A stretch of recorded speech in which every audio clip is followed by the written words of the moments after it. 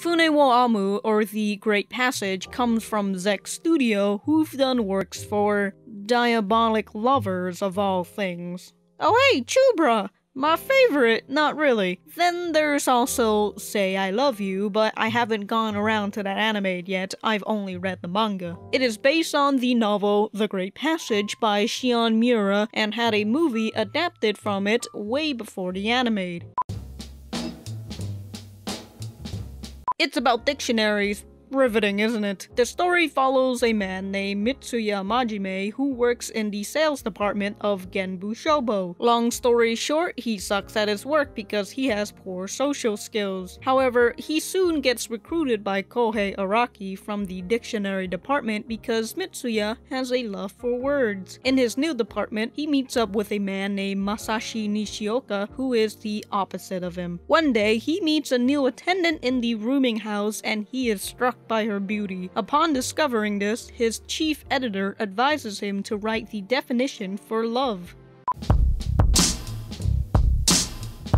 First of all, this is a very refreshing anime. It's based in the modern world where it follows adults in their daily lives. And if that isn't enough, the main topic is about dictionaries. Something the younger audiences wouldn't even want to talk about because it's so boring. Actually, I can't say that for the Japanese audiences, but for Americans, most definitely.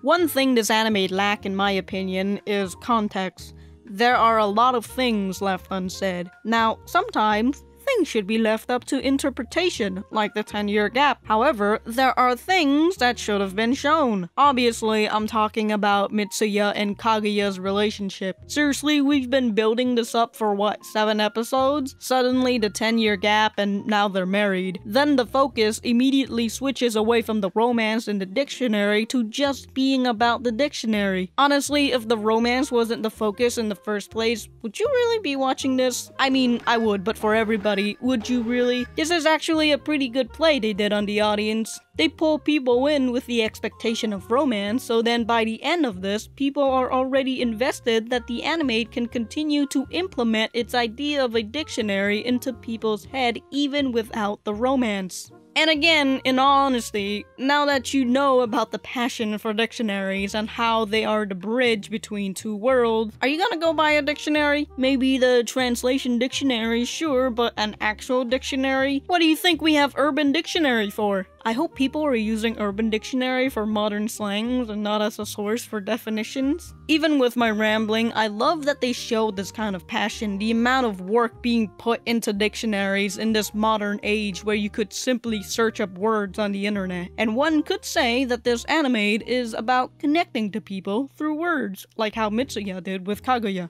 Going away from that bumbling mess, the anime is relaxing. It goes through activities that can be considered mundane for some and makes it interesting.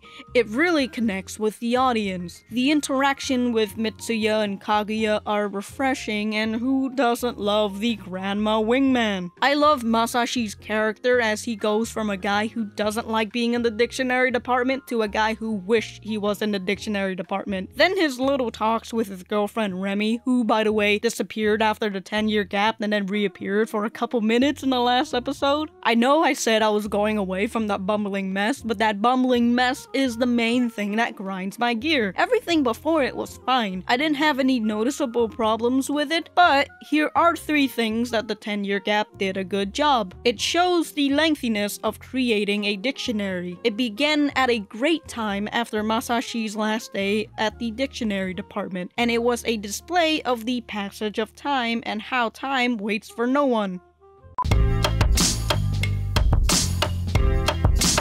Even after my complaints, I would recommend this anime. Again, I can be easily entertained, and if I like 90% of the anime, I'd recommend it. This is a pretty easygoing anime. Nothing bad happens in it, there's little to no drama. I said this before, it's relaxing. Don't anticipate anything other than that, and you will enjoy it.